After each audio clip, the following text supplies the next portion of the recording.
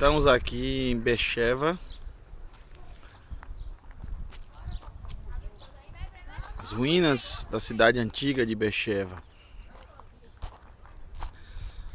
Local onde habitou Avraham, Avino, nosso pai Avraham, nosso pai Isaac e nosso pai Jacob.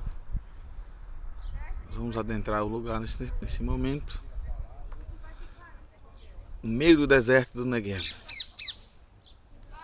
Shalom.